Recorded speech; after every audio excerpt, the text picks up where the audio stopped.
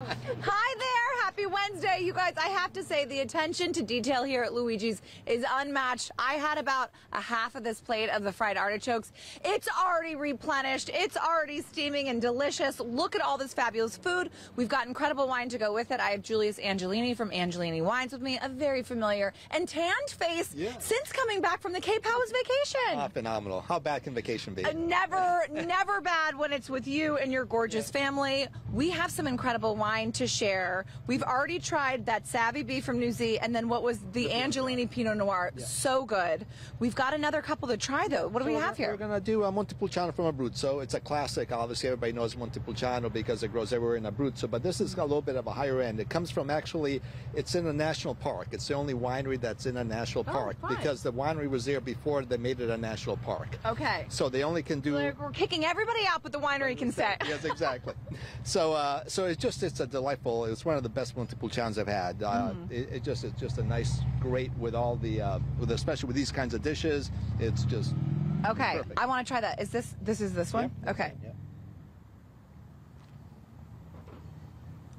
Nice, nice combination. You're tasting a little bit of the uh, raspberries, the dark. That's a sneaky one. I could have several glasses and think that I'm okay. and I'm not. Surprise, surprise. That is so delicious. I love that. It's very light, but I feel like it could stand up to some, you know, like something like the artichokes or like, yeah. It'll go perfectly Everything. because it's still got some body, some tannins. Yeah. Um, and but it's not overly. It's not a huge wine. Yes. So it's a. per- perfect I like that. combination, And then this is something that I've never Yes, tried I didn't before. this. So uh, we just came back from uh, from Italy with uh, my brother-in-laws and sister-in-laws, Mm-hmm. and uh, I guess they never in Italy after a meal Yep. you always have a digestivo, Mm-hmm. which is a bitter. So it's made with herbs from the different places. So if you northern Italy is different than Sicily, let's say. Okay. And but uh, what's meant to do is to help the digestion, which Mm-hmm. is digestivo, and they're all bitters. So this one here is from um, Campania. So this is just uh, where limoncello is made. Okay. The Russo. Well, I've had I've had limoncello. I've had ouzo when I went to Greece, but This so this totally is different. so okay, totally different. totally different. Totally different. It's almost uh, well, try it. Okay, I'm nervous. It smells good. It smells like chai almost.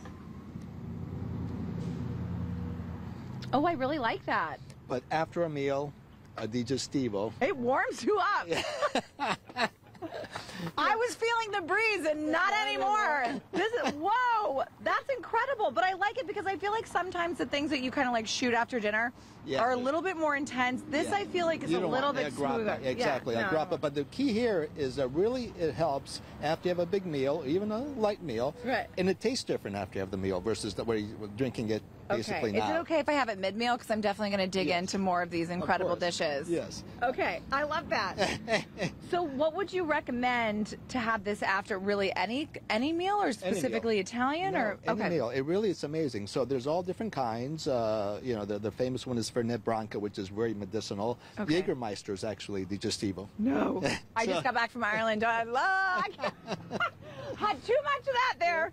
So that's that's the same thing. It's all bitters. I think uh, originally made by the monks. You know, the different areas. So this Okay. it's just herbs infused with alcohol. Okay. And depending on where you come from, they have different things. But the key is all bitters. Like uh, even the bitter, the Angostura, Angostura bitters. Mm-hmm. It's the same kind of concept. But it's amazing how much it helps with digestion. So don't do like a grappa or even like a whiskey or Yeah, or Bailey's that, that could kind of upset your stomach a little bit. This this really just melts everything away. So I you really can like. I. I feel better already. I could run a marathon right now, you guys, because of this digestivo.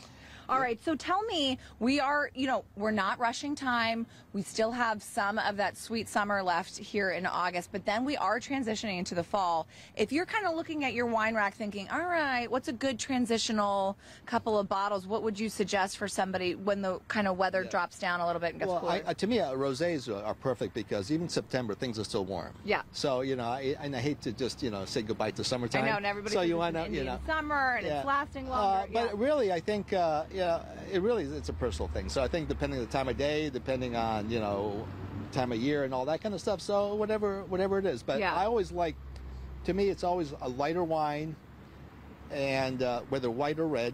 and it just because it's just easier to drink and it's not as complicated. Let's make things less complicated. Yes. You know, if we have a great love it. meal with a you know filet mignon and we want to have a big burgundy on it, go for it. I love it. But you know, why not just enjoy uh, a nice little bottle of wine?